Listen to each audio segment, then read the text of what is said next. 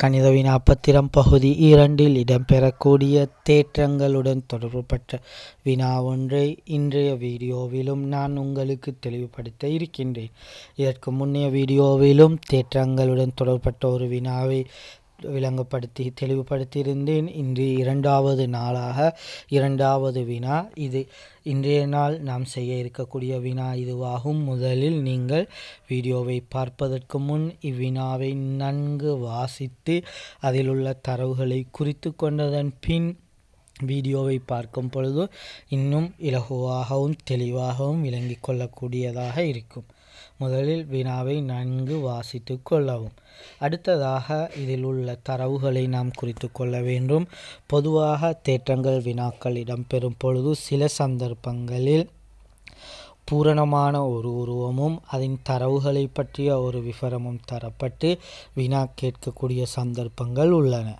சில சந்தர்ப்பங்களில் பூரணமற்ற ஒரு உருவம் தற்பொழுது தரப்பட்டுள்ள வினாவை போன்று பூரணமற்ற ஒரு உருவம் தரப்பட்டு நாம் வினாவை வாசித்து அதற்கேற்றவாறு அதில் உள்ளவற்றை இந்த உருவத்தில் குறித்து நாம் உருவை பூரணப்படுத்தி கொள்ள வேண்டும். சில நேரங்களில் உருவமே தரப்படாமல் வினா மாத்திரம் தரப்படும் பொழுது நாம் வாசித்து பொருத்தமான ஒரு உருவை வரைந்து கொள்ள வேண்டும். இவ்வாறு தரவில் நாம் உருவை வரைவதற்கும் புள்ளிகள் வழங்கப்படுகின்றன.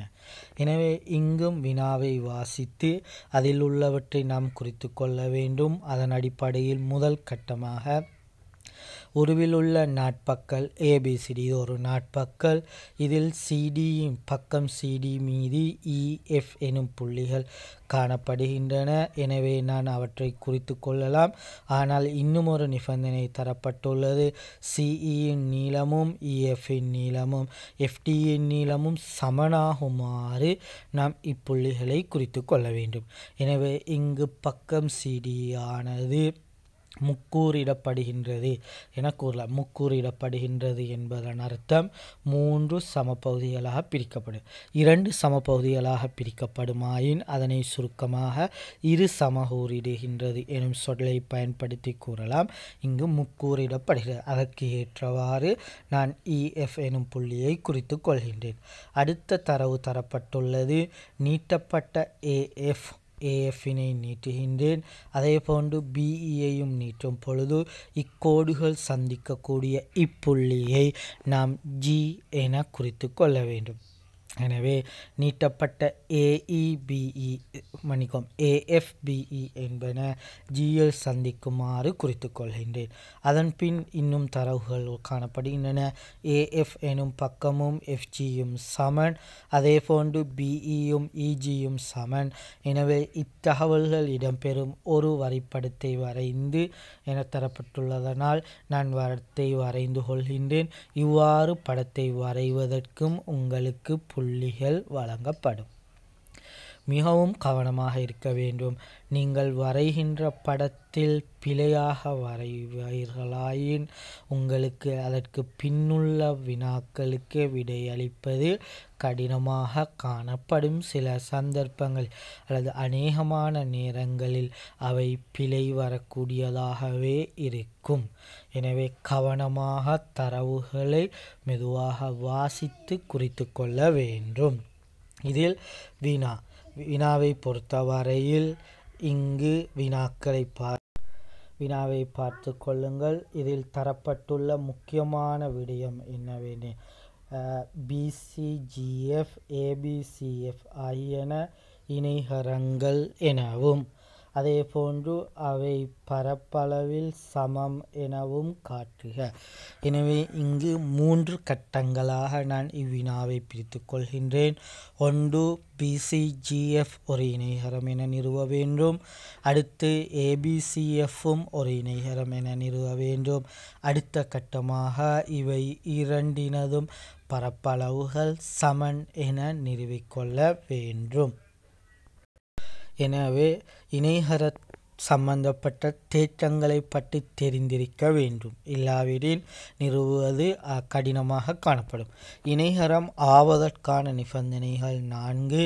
ஒரு நாட்பக்களின் எதிர்ப்பக்கங்கள் சமனெனின் அந்நாட்பக்கள் ஒரு இணைகரம். ஒரு நாட்பக்களின் எதிர்கோணங்கள் சமனெனின் அந்நாட்பக்கள் ஓர் இணைகரம். ஒரு நாட்பக்களின் மூளைவிட்டங்கள் ஒன்றையொன்று இருசமாக ஓரிடுமாயின் அந்நாட்பக்கள் ஓர் இணைகரம். ஒரு நாட்பக்களின் ஒரு சோடி எதிர்ப்பக்கங்கள் சமனும் சமாந்தரமுமாயின் அந்நாட்பக்கள் ஓர் இணைகரம் இந்நான்கில் ஏதாவது ஒன்றை பயன்படுத்தி நாம் இது இணைகரம் என நிறுவிக்கொள்ள வேண்டும். இதில் நான் இத்தேற்றம் அதாவது ஒரு நாட்பக்களின் மூலைவிட்டங்கள் ஒன்றையொன்று இரு சமகூறிடுவதால் அது இணைகரம் எனும் தேற்றத்தையும் ஒரு சோடி எதிர்ப்பக்கம் சமனும் சமாந்தரமாக உள்ள நாட்பக்கள் ஒரு இணைகரம் எனும் தேற்றத்தையும் பயன்படுத்தி மேற்படி இரண்டும் இணைகரம் என நிறுவப் போகின்றேன். எனவே பிசிஜிஎஃப் இணைகரம் என நிறுவ வேண்டும். நான் இவ்வாறு இணைத்து கொள்ளலாம். பச்சை நிற கோடுகளால் இணைக்கின்றேன் பிசிஜிஎஃபினை இந்நாட்பக்கள் இணைகரம் என நிறுவ வேண்டும். மூன்றாவது சந்தர்ப்பத்தை பயன்படுத்துகின்றேன். இதன் மூளைவிட்டம் பிஜி ஆனது இரு சமகூரிடப்பட்டுள்ள சமனாக பிரிக்கப்பட்டுள்ளது. அதாவது பிஇ சமன் இஜி ஏனெனில் அது தரவு தரப்பட்டிருக்கின்றது. அதே போன்று அடுத்த மூலைவிட்டம் எஃப்சியை பொறுத்த வரையில் எஃப்இயும் இசியும் சமனாக காணப்படுவதனால் நான் ஒரு முடிவெடுக்கலாம். இதுவும் ஒரு தரவு. எனவே நான் ஒரு முடிவெடுக்கலாம். பிசிஜிஎஃப் ஓர் இணைகரம். ஏனெனின் இதன் மூலைவிட்டங்கள் ஒன்றையொன்று இரு சமகூரிடுவதனால் இந்த பிசிஜிஎஃப் எனும் நாட்பக்கள் ஓர் இணைகரம் என எழுதி கொள்ளலாம். மிகவும் இலகுவாக எழுதிக் கொள்ளலாம் படிமுறைகள். அதே போன்று ஏபிசிஎஃப் இணைகரம் என நிறுவ வேண்டும். நான் அதில் இந்த முக்கோண பகுதியை மாத்திரம் எடுக்கும் பொழுது ஏபிஜி எனும் முக்கோணியில் பக்கம் ஏஜியின் நடுப்புள்ளி எஃப் ஆகும். ஏனெனில் தரவு தரப்பட்டுள்ளது. ஏஎஃப் சமன் எஃப்ஜி என தரப்பட்டிருப்பதனால் நாம் இந்த இரண்டு பக்கங்களும் சமனாகையால் எஃப்பினை நடுப்புள்ளி எனவும் அதே போன்று பக்கம் பிஜியில் பிஇ சமன் இஜி என தரப்பட்டிருப்பதனால் நாம் இங்கு இரண்டு பக்கங்களும் பிஇ சமன் இஜி என தரப்பட்டிருப்பதனால் இ நடுப்புள்ளி எனவும் எழுதி கொள்ளலாம். எனவே நடுப்புள்ளி தேற்றப்படி இவ்விரு பக்கங்களினும் இவ்விரு பக்கங்களினதும் நடுப்புள்ளிகளை இணைக்கும் கோடு எஃப்இ ஆனது அதன் மூன்றாவது பக்கமான ஏபிஏற்கு மூன்றாம் பக்கமான இதன் மூன்றாம் பக்கமான ஏபிஏற்கு சமாந்தரமாகவும் அதன் நீளத்தின் அரைவாசியாகவும் காணப்படும். எனவே எஃப்இ ஆனது ஏபியின் அரைவாசியாகவும் எஃப்இ ஆனது ஏபியிற்கு சமாந்தரமாகவும் காணப்படும். இது நடுப்புள்ளி தேற்றமாகும். இதிலிருந்து எஃப்இ ஏபியிற்கு சமாந்தரம். ஆகையால் நான் இவ்வாறு உருவை வரையும் பொழுது எஃப்சி எனும் பக்கமும் ஏபியிற்கு சமாந்தரம் என நாம் எழுதி கொள்ளலாம். மீண்டும் பாருங்கள். இதில் ஒரு முடிவு எழுதினேன். எஃப்இ எனும் பக்கம். வீடியோவை பாருங்கள். எஃப்இ எனும் இப் இப்பக்கம் ஏபியிற்கு சமாந்தரமாகையால் எஃப்இயை நீட்டி பெறக்கூடிய எஃப்சி எனும் பக்கம் இந்த ஏபி எனும் பக்கத்திற்கு சமாந்தரம். என நாம் எழுதி கொள்ளலாம். ஒரு முடிவு. எனவே நான் இங்கு எழுதி கொண்ட முடிவை வைத்து என்ன முடிவு எழுதினேன் என்றால் எஃப்சியும் ஏபியும் சமாந்தரம். எனவே அதிலிருந்து இன்னும் ஒரு முடிவு எழுதலாம். நடுப்புள்ளி தேற்றப்படி ஏற்கனவே நாம் எழுதியது எஃப்இ ஆனது ஏபி அரைவாசி எனவும் அதே போன்று எஃப்இ ஆனது எஃப்சியின் அரைவாசி எனவும் நாம் எழுதி கொள்ளலாம். ஏன் அவ்வாறு எழுதலாம்? எனில் இவ்விரண்டு பக்கங்களும் இசி இஎஃப் அல்லது இசியும் எஃப்இயும் சமன். ஆகையால் எஃப்சியின் அரைவாசி எஃப்இ என எழுதி கொள்ளலாம். இங்கு அவதானிக்கும் பொழுது எஃப்இ ஆனது ஏபியின் அரைவாசிக்கு சமன் எஃப்இ ஆனது எஃப்சியின் அரைவாசிக்கு சமன். எனவே நான் இங்கு ஒரு முடிவு எழுதி கொள்கின்றேன். இந்த ஏபி எனும் பக்கமும் எஃப்சி எனும் பக்கமும் சமனாகும். இது வெளிப்படை உண்மையை பயன்படுத்தி இவ்வாறு எழுதிக்கொள்ளலாம் கொள்ளலாம். சமமாகும் எனும் வெளிப்படை உண்மை தரம் ஒன்பதில் காணப்படுகின்றது. ஏனெனில் ஏபியின் அரைவாசி எஃப்இக்கு சமன் எஃப்சியின் அரைவாசியும் எஃப்இக்கு சமனாயின் ஏபியும் எஃப்சியும் சமன்.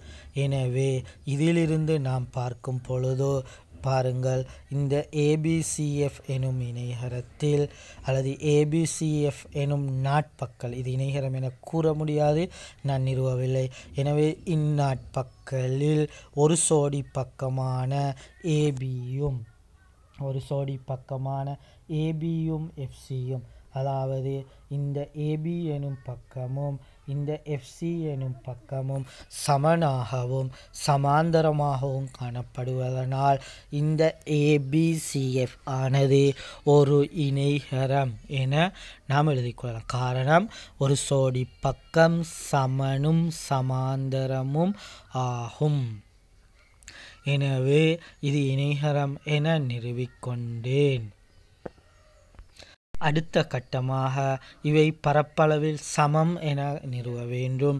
இங்கு தரம் பதினொன்றில் முதலாம் தவணைக்குரிய பாடலகில் எட்டாம் பாடலகில் காணப்படக்கூடிய சமாந்தர கோடுகளுக்கிடையிலுள்ள தள உருவங்கள் தேட்டத்தை அடிப்படையாக வைத்து பிசி எனும் பக்கத்தில் பிசிஐ அடியாகவும் அதேபோன்று பிசி ஏஜி எனும் சமாந்தர கோடுகளுக்கிடையிலும் இவ்விரு இணைகரங்களும் காணப்படுவதனால் இவ்விரு இணைகரம் எனும் பொழுது பிசிஜிஎஃப் எனும் இணைகரமும் அதேபோன்று ஏபிசிஎஃப் எனும் இணைகரமும் இவ்விரண்டிற்கும் இடையில் காணப்படுவதனால் இவற்றின் பரப்பளவுகள் சமன் என நான் நேரடியாக எழுதி கொள்ளலாம். எனவே மிகவும் இலகுவாக தேற்றங்கள் வினாக்களை நாம் விடைகளை எழுதி கொள்ளக்கூடியதாக இருக்கின்றது. எனவே மாணவர் கவனமாக வினாக்களை வாசித்து தரவுகளை உரிய முறையில் விளங்கிக் கொண்டால் மிகவும் இலகுவாக இவ்வினாக்களை நீங்கள் அணுகலாம்.